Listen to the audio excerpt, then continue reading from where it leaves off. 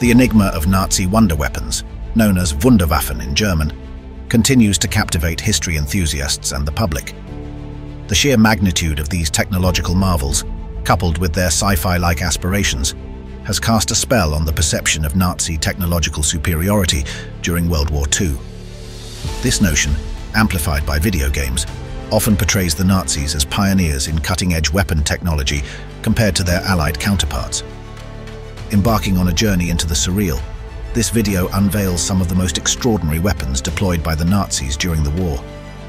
Brace yourself for a dive into the absurd realm of projects like the Sun Gun and Tornado Cannon, creations so fantastical they border on fiction. Stay with us until the end to unravel the impact of these so-called wonder weapons on the war and whether they posed a genuine threat. Schwerer Gustav, translated as Heavy Gustav, emerged as a testament to German engineering prowess during the late 1930s. Crafted by Krupp in Rügenwalde, this monumental 80-centimetre railway gun was specifically conceived as siege artillery, with a singular focus on obliterating the formidable main forts of the French Maginot Line, then considered the most robust fortifications in existence. Weighing an impressive 1,350 tons when fully assembled, Heavy Gustav could unleash 7-ton shells with pinpoint precision, achieving a remarkable range of 47 kilometers. Conceived in preparation for the Battle of France, Schwerer Gustav missed the opportunity to see action during that conflict. The swift and dynamic blitzkrieg through Belgium by the Wehrmacht outmaneuvered and isolated the static defences of the Maginot Line, rendering Gustav's intended role obsolete. Instead, conventional heavy guns laid siege to the Maginot Line until French capitulation. Schwerer Gustav found its operational debut in the Soviet Union during the Battle of Sevastopol, a crucial episode of Operation Barbarossa. Notably, the colossal rail-mounted gun demonstrated its destructive power by obliterating a munitions depot positioned approximately 30 meters below ground level. Following this, Gustav was relocated to Leningrad, potentially earmarked for deployment in the Warsaw Uprising, a fate never realized due to the uprising suppression before preparations were complete. Schwerer Gustav's historic significance is unrivaled, representing the largest caliber rifled weapon ever employed in combat.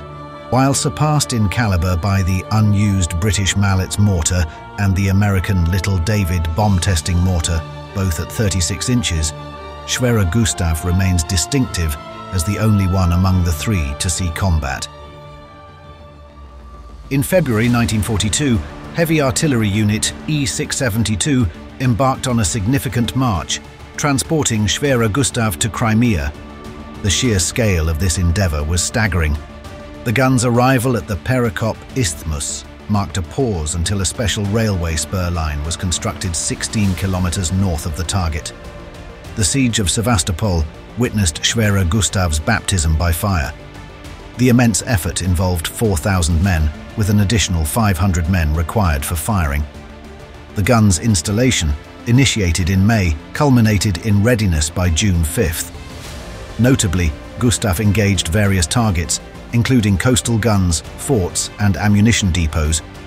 By the siege's conclusion on July 4th, Sevastopol lay in ruins, with Gustav having fired 47 rounds and necessitating a barrel replacement. The saga of Schwerer Gustav extends to ambitious projects like the Monster, a mobile self-propelled platform that highlighted the audacious ambitions of German wartime engineering. However, Limited evidence exists for this variant and the program's existence. As the tides of war turned against Germany, Schwerer Gustav faced deliberate destruction by the Germans in 1945 to prevent capture by the advancing Soviet Red Army. Despite its limited combat participation, Schwerer Gustav's colossal presence and technological prowess solidify its standing as a testament to the extremes of innovation and military engineering during World War II.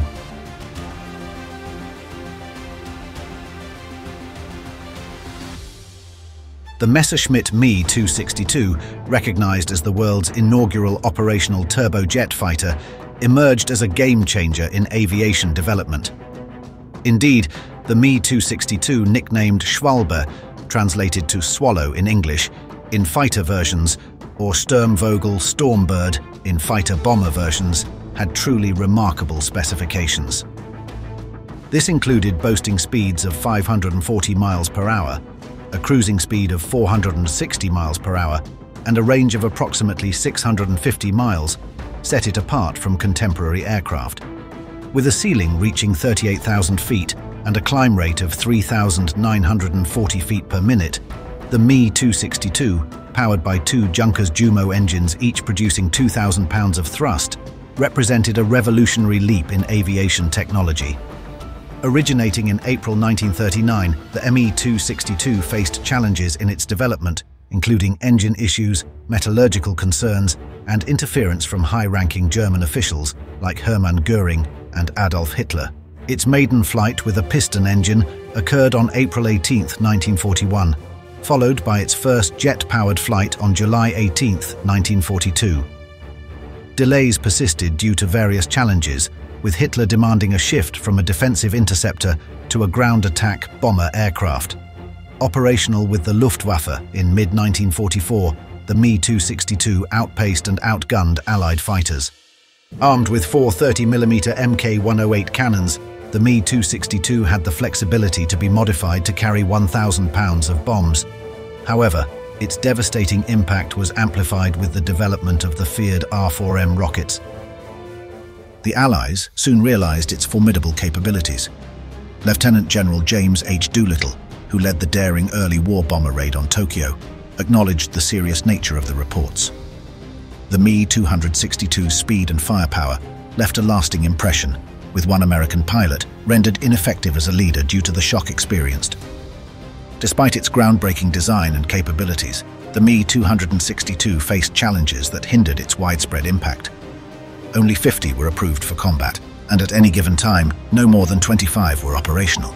Engine problems, fuel shortages, and Allied attacks on airfields and manufacturing facilities contributed to the limited deployment of these advanced jets. Its top ace, Hauptmann Franz Schall, claimed 17 kills, while its speed required innovative tactics to engage Allied bombers effectively. Without a doubt, the Me-262's groundbreaking technology set the course for the future of aviation history.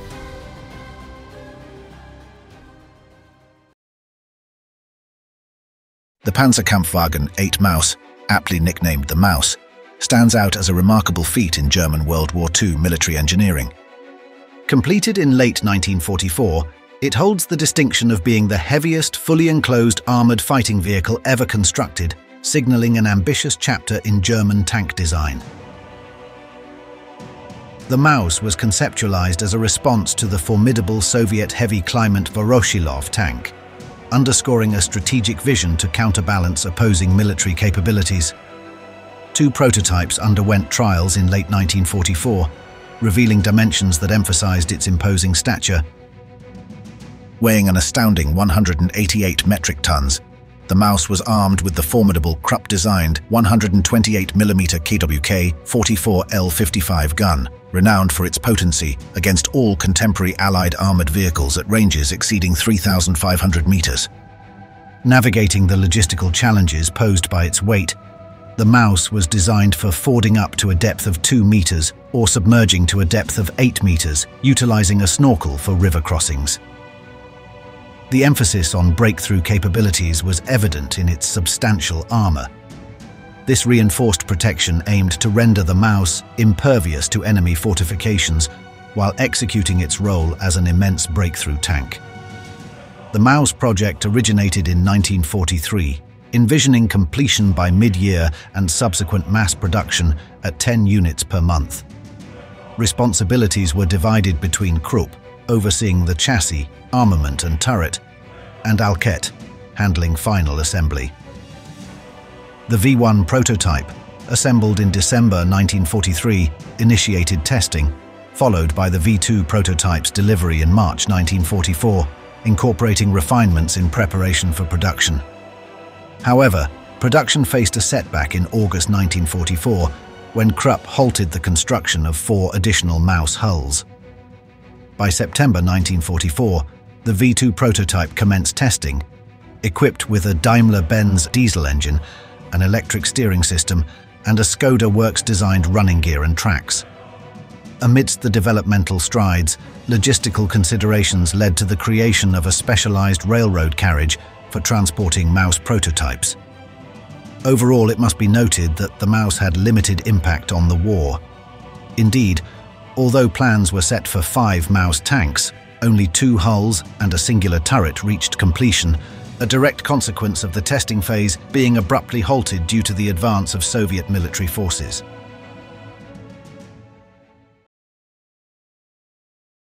The V-1 rocket, initially developed under the code name Kirschkern, meaning cherrystone, is one of the more infamous and effective German Wunderwaffen.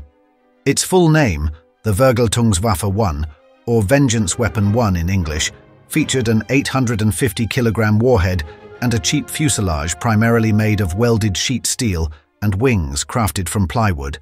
Powered by a simple pulse jet engine that pulsed 50 times per second, the V1 emitted a distinctive buzzing noise, leading to the informal nicknames Buzz Bomb and Doodlebug. The V-1 rocket was equipped with a rudimentary autopilot system devised by Askania in Berlin to regulate its altitude and airspeed. Its guidance was facilitated by a pair of gyroscopes which controlled yaw and pitch, and its direction was maintained using a magnetic compass. To determine when the target area was reached, the V-1 utilized an odometer driven by a vane anemometer on the nose. During flight, the airflow spun a propeller on the nose, and for every 30 rotations of this propeller, the odometer's count decreased by one. After approximately 37 miles, this mechanism also activated the warhead. When the countdown reached zero, a sequence of actions was triggered. Two detonating bolts were fired, spoilers on the elevator released, the connection between the elevator and its servo jammed, and a guillotine device severed the control hoses to the rudder servo, setting it to a neutral position. These actions caused the V-1 to enter a steep dive. Initially designed as a power dive, in practice, the dive halted the fuel flow, stopping the engine and allowing a glide to take place. The abrupt cessation of the buzzing noise served as an ominous warning to those below the flight path of the imminent impact. The German military commenced its assault on London with V-1 rockets on June 13, 1944, a strategic move influenced by the Allies' successful landing in France a week earlier. The intensity of these attacks peaked with over 100 V-1s targeting southeast England each day. This onslaught gradually subsided as the Allies overran the launch sites, with the last one within Britain's range falling in October 1944. In the aftermath, Germany shifted its focus to Belgium, targeting the port of Antwerp and other areas with 2,448 additional V-1s. These relentless attacks continued until the final days of the war in Europe, finally ceasing with the capture of the last operational launch site in the Low Countries on March 29, 1945. In terms of future plans for the V-1, the Nazis had a few ideas that never materialized, although they almost certainly would have increased their efficacy if enacted. Most notably were the Nazi plans to increase the range of the V-1 rocket from its approximate range of 150 miles, a significant limitation of its design. Plans were made, though never fully realized, to employ the Arado Ar-234 jet bomber as a platform for launching V-1 rockets. This strategy involved either towing the V-1s aloft, attaching them beneath the wing, or carrying them in a piggyback fashion on the bomber, Utilizing the Ar234 in this way would have extended the V1's range, potentially allowing Germany to continue its assault on England even as it lost territory in Western Europe. In 1944, several test flights were conducted using this setup. However, these tests revealed a significant issue. The V1 exhibited a porpoising effect during flight. This instability not only affected the V1 itself, but also transferred to the carrying fighter, rendering the system too unreliable for operational use. As 1944 progressed and Germany's control over French territory diminished, the range of the V-1 rockets became insufficient to reach targets in England. While air launching was one alternative explored, the most direct solution was to extend the missile's range, leading to the development of the F-1 version. In the F-1 model, the fuel tank's size was increased which necessitated a reduction in the warhead's capacity to maintain a manageable weight. To further reduce weight, the nose cones and wings of the F1 variants were constructed out of wood. These modifications enabled the V1 to be launched towards London and other nearby urban centres from potential ground sites in the Netherlands. However, several factors hindered the deployment of these long-range V1s. Bombing raids on factories producing the missiles, shortages of steel and rail transport, and the chaotic tactical situation faced by Germany at this late stage of the war all contributed to delays. As a result, only a few hundred of these extended-range F1 models ever reached their targets in England. Another alteration to the V1 intended to improve its efficacy was the V1 variant codenamed the Reichenberg. Also known as the Fieseler Fi 103R, it was intended to be quite similar to the infamous kamikaze strategy used by the Japanese. Unlike the regular V1, the Reichenberg was to be piloted, intended to cause precise and substantial damage, most notably to enemy shipping. The strategy involved the pilot steering the aircraft close to the target and then, in the moments before impact, exiting the aircraft and parachuting to safety. The feasibility and practicality of this escape maneuver were highly questionable given the timing and precision required, and it was highly likely that these missions would result in the pilot's death in much the same way as the Japanese kamikaze pilots. Reportedly, the individuals selected to pilot these aircraft were to be volunteers, fully cognizant of the perilous nature of their missions. The development of these piloted V-1s was plagued with issues from the start. Both the first and second flights resulted in crashes, the reasons for which went largely unexplained. Further tests involving some of Nazi Germany's most skilled testing pilots, Heinz Kensche and Hanna Reitsch, also resulted in technical disaster. In part due to these technical difficulties, the Fi 103R was shelved in October 1944. And finally, in March 1945, Hitler concluded that suicide attacks were not part of the German warrior tradition, thus leading to the complete disbandment of the Reichenberg project.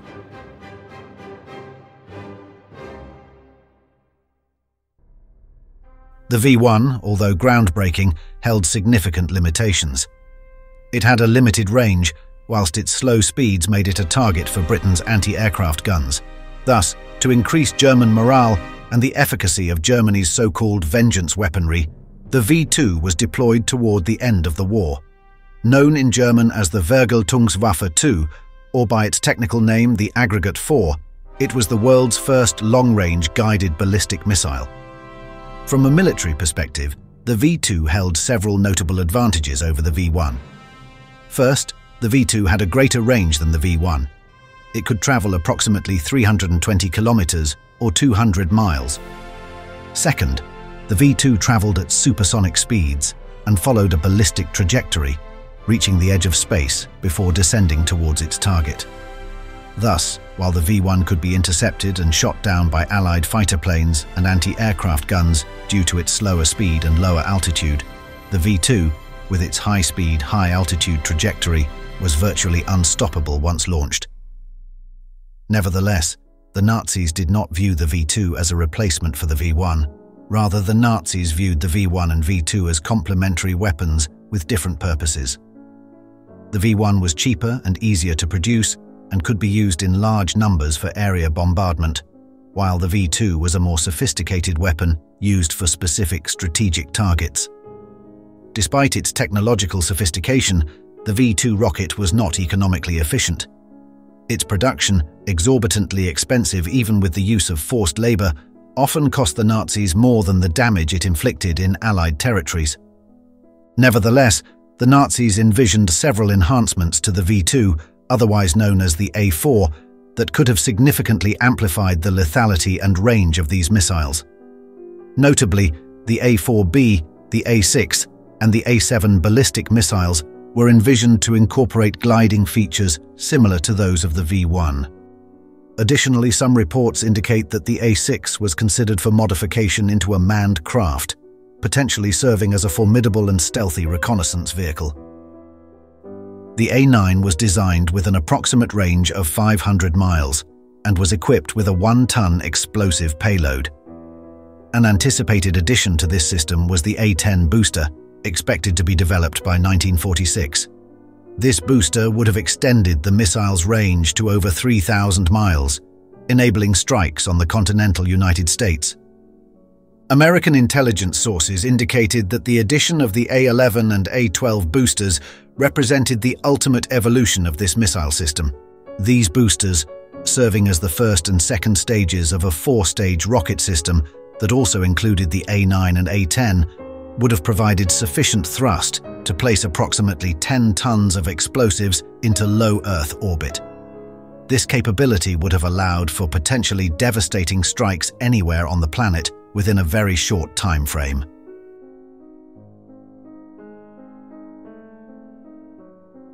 Plans for supersonic and hypersonic weaponry also extended to bomber craft. However, these designs were largely fanciful and almost impossible with 1940s technology.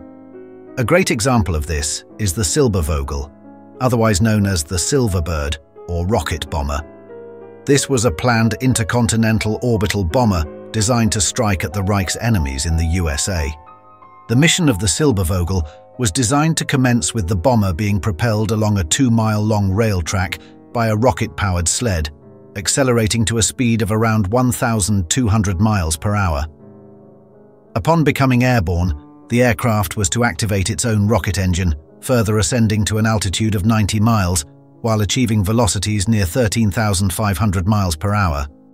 It was calculated that the aircraft could deliver a 4,000 kilogram bomb to the continental United States, and then continue its flight towards a landing site in the Pacific region controlled by the Empire of Japan, covering a total distance of 19,000 to 24,000 kilometers. Although the Silbervogel was dismissed by the Nazis as far-fetched, the proposed design caused great excitement in the post-war Soviet Union. According to numerous sources, Joseph Stalin was so enamored by the thought of this hypersonic bomber that he allegedly sent his own son to go and capture the scientist who designed the Silbervogel, although this apparently failed. However, the Soviet Union's enthusiasm for the Silbervogel might have been misplaced. To date, no hypersonic bombers capable of reaching the Silbervogel's proposed speeds have been developed. The mathematics underpinning the design were apparently significantly flawed. Given the intense heat associated with hypersonic speeds, it's likely that the Silbervogel would have succumbed to structural failure due to overheating, rendering this ambitious project rather impractical and likely doomed to failure.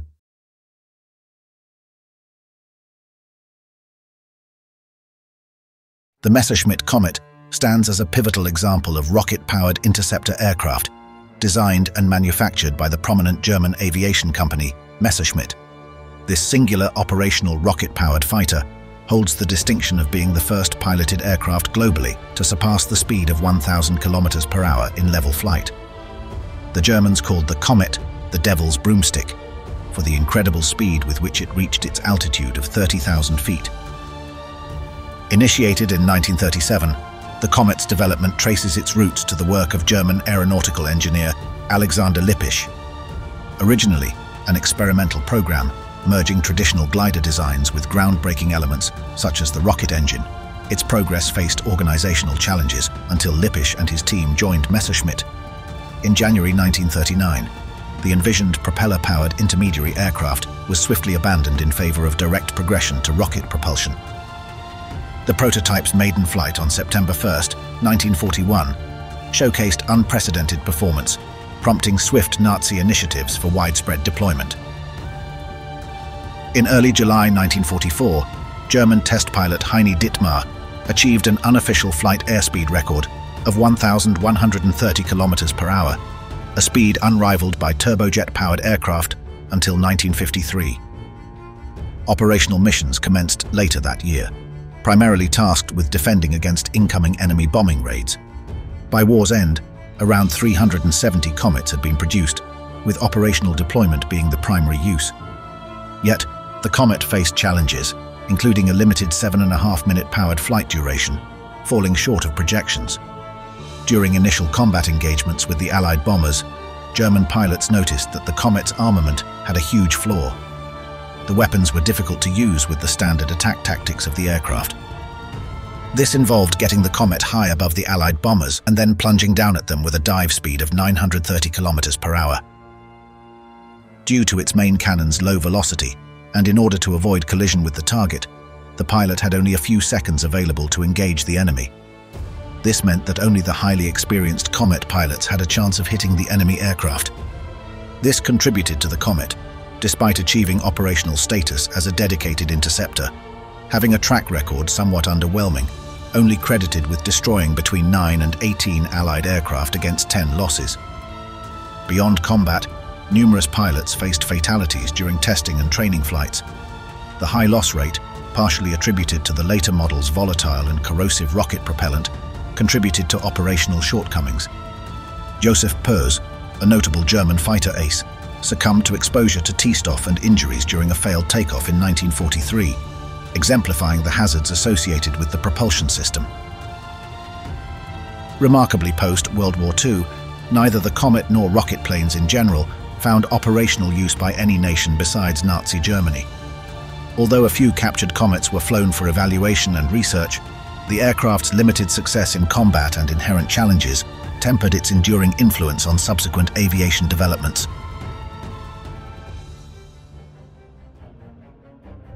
Concluding this video on the Third Reich's more outlandish endeavours, we turn our attention to three particularly fanciful projects. The artificial tornado vortex cannon, the wind cannon, and the sun gun. First, we have the artificial tornado vortex cannon. Operating by igniting gas in a large tube, it would then release high temperature and high pressure gas through a rotating nozzle into the atmosphere, subsequently generating an artificial tornado. This device was reportedly capable of creating mini tornadoes up to 300 meters high, demonstrating its ability to destroy wooden sheds from a distance of 150 meters. However, its limited range and accuracy rendered it ineffective, leading to minimal interest from the German army.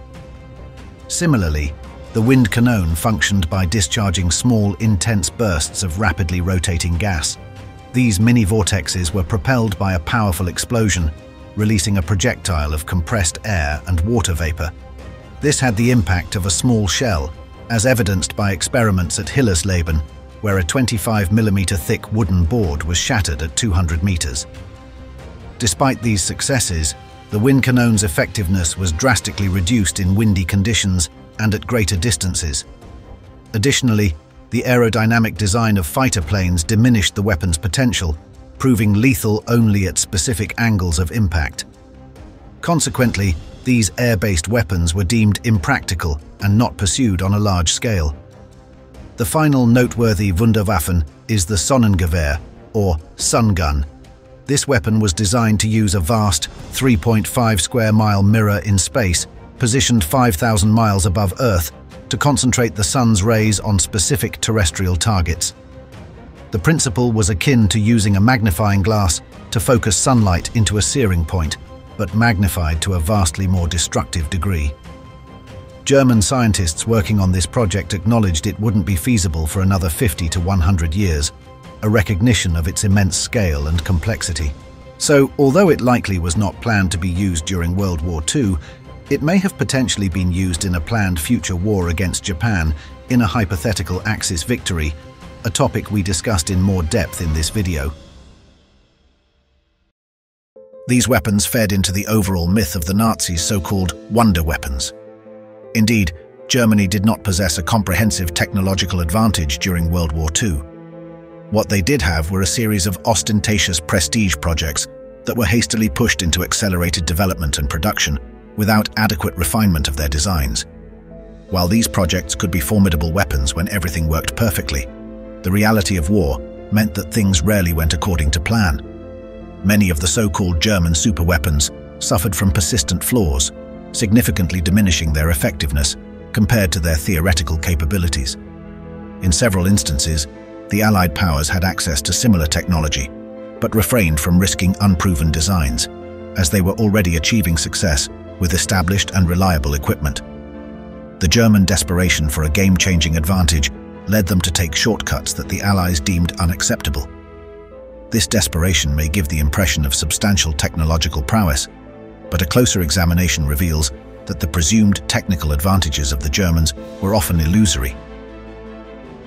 What often gets overlooked in discussions praising German technology is the realization that designing and building a weapon is not a purely abstract exercise. It is easy to become engrossed in meticulous technical specifications, such as nominal horsepower, armor or penetration values, at the expense of understanding the weapon's intended purpose, its operational use, and its capability to fulfill assigned tasks. Moreover, even if a weapon boasts unparalleled strength and reliability, if it is excessively expensive and time-consuming to manufacture and overshadows other projects, it can be deemed a failure. While theorizing and innovation are essential, the ultimate objective of any design process must be to create something that not only functions as intended, but can also be mass-produced to have a significant impact. This is particularly crucial in the context of war, where the effectiveness of a weapon is a matter of life and death. The ultimate weapon of death, the atomic bomb, is a pronounced example of this myth of Nazi supremacy in science.